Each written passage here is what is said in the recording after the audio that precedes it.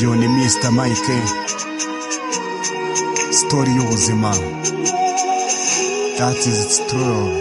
Freestyle ntukankange shani imana n'inzara ntukankange shani uha ababyeyi n'itegeko ntukankange shani ndi umufasha n'akazi ntukankange shani nyakuvangura amoko ntukankange shani nyaguhemuka. Ntukankange shani mugakera abavandimwe n'inshuti.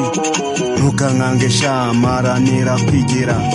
Ntukankange sha maranira no kubana ntukankange sha burya ntukankange sha ntukankange sha mahame ndayafite.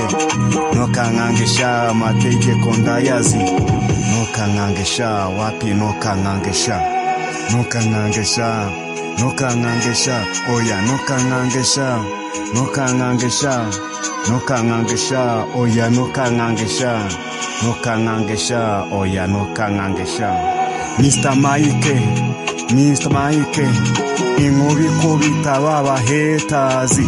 Akunda abamukunda amwanga akabakunda kurushaho. Arabafite oya arabafite. Azanye impinduka mu muziki nyarwanda.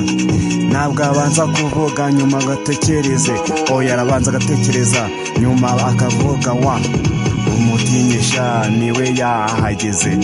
Ntukankangesha ntukankangesha ntukankangesha oya ntukankangesha ntukankangesha nawe nuko byatangiye.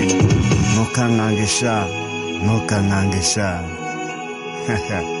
Mr Mike indirimbo igere ku bafana banjye mwese. Shalom shalom.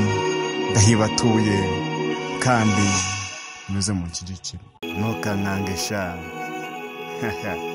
Mr Mike indirimbo igere ku bafana banjye mwese. Shalom shalom. Ndahibatuye kandi muze mu nshyigikiro